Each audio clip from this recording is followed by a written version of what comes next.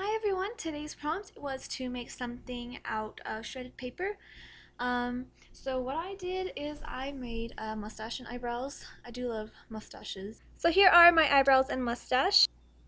Quick reminder, on Friday I will be leaving for a trip and I will be doing only drawings that entire week. I'll be sure to put up a video of all of our great adventures. We're going to a bunch of different places, but our main destination is the beach and we're all super excited for that.